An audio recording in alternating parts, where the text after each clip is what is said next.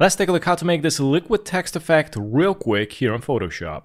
This is my artboard size, paint it black, select the type tool, add the text, scale it. By the way, I went with the Akira expanded super bold font. I also gonna decrease the distance in between the letters.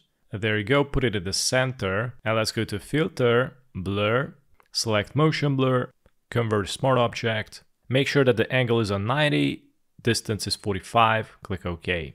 Right click on the text again, convert to smart object again. And now we're gonna warp this text, so press Ctrl T. And as you can see, the bounding box is gonna show up on the whole page and we don't want that. So let's double click on the thumbnail of the Panter text. It's gonna open up the blurry text. And here let's select the crop tool, press and hold Alt, and we're gonna crop it. So only the text is gonna be here. Double click. And we're gonna go to File, Save. And this way is gonna save it into the original tab. So let's go to the first tab and now we can press Ctrl T. And now the bounding box is surrounding the text only. And now let's go up here, click on the warp mode. Let's go to warp and switch it to arc.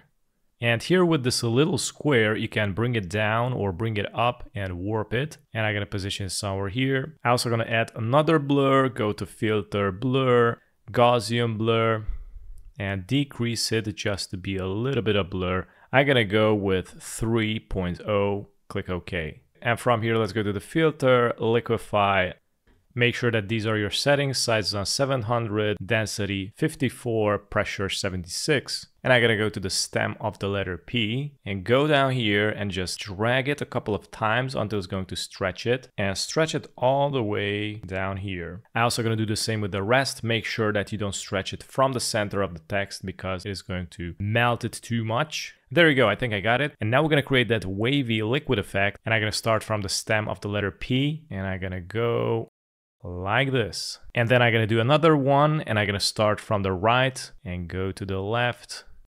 I think this is great. Let's click OK. Now let's collapse this layer, press Ctrl J two times to create two more duplicates. So this way we've got three duplicates. I'm gonna uncheck the first one. Let's double click on the second one. Let's go and select the color overlay, make it orange, and also check the outer glow. And this is going to be pink.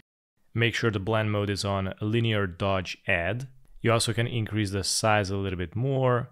Click OK. Now let's select the bottom layer with the text, double click. Let's select the color overlay and I'm gonna make this purple. Click OK and click OK. Now let's go down to the Gaussian blur of this layer, double click and increase the radius until it's gonna look nice and glowy. Click OK. Now let's go and make the first layer visible. Double click on it and let's go and activate the gradient overlay. I'm gonna click on the gradient. Let's go and double click on the first handle. I'm gonna go with a strong blue. Click OK. Let's click here to add another handle. I'm gonna make this black. Click OK. Press and hold Alt, drag the blue handle into the opposite direction. Click to release. I'm gonna add another one here. I'm gonna make this orange. Click OK. Add another one. I'm gonna make this purp. Click OK. And the last one, make it black. Click OK. You also can rotate the angle if you want. For me, minus 22 is good. Now let's go and activate the setting. I'm gonna go to the color, make it blue, click OK. I'm gonna switch multiply to linear dodge add, opacity bring it up, contour I'm gonna switch it to this one, increase the distance and the size, make it soft. I'm gonna make this 60 and the distance around 100. And you also can play around with the angle. Now let's go to bevel and emboss, increase the depth all the way to a 1000. I'm gonna decrease the size, increase the softness, gotta go with 6th. Now let's go to gloss contour and I'm gonna change it to this one.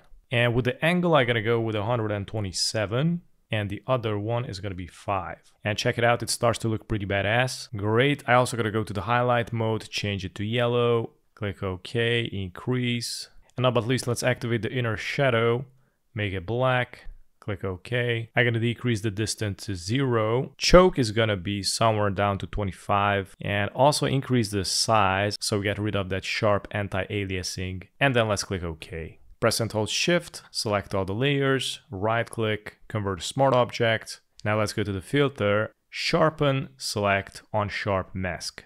And I gotta go with these settings. You also can decrease the contrast a little bit more. Click OK.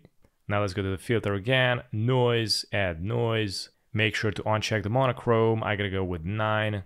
Click OK. And mainly this is how you make it. Thanks for watching.